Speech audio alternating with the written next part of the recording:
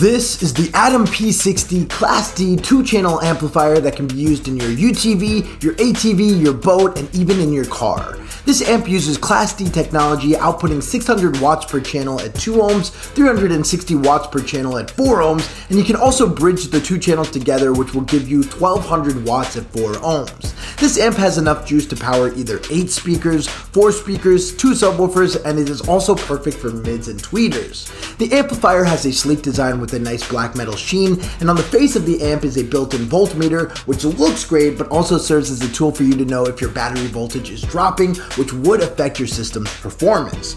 We designed this amp to be able to last for many years even if you are playing it at max volume before clipping for extended periods of time. This amplifier utilizes high-grade marine components including a conformal coated PCB board with a waterproof glue that is painted on to protect the circuitry.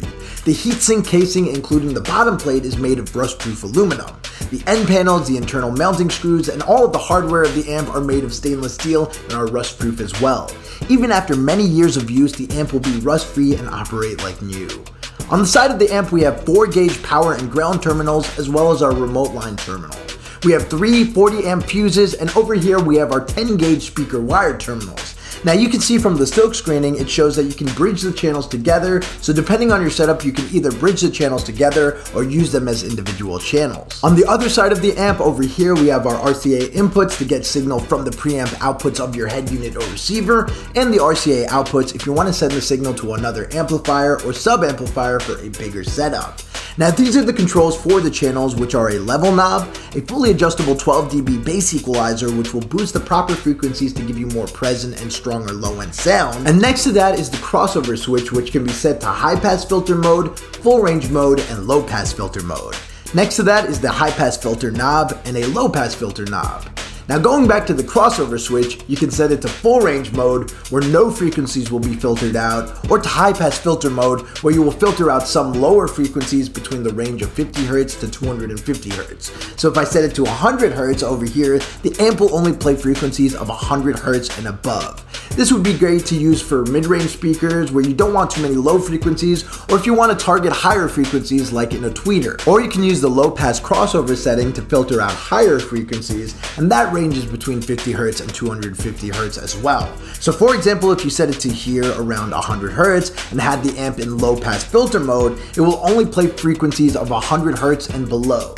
This would be perfect if you were running a subwoofer or two of them off this amplifier. We made this graphic so you can see a list of popular configurations that you can do with this amplifier. This amp is capable of supporting so many different setups, but you are probably wondering what it can actually do, so let's go to a demo that we have set up. What's up guys? So I've got my Atom P60 all set up here and ready to go. I have four of my RV6 9.4A full range speakers on each channel and I ran them in series parallel for a final impedance of 2 ohms per channel. And because this amp is so powerful, it's able to handle this configuration no problem. So I'm gonna play some music for you guys to show you what this amp can do. Here we go.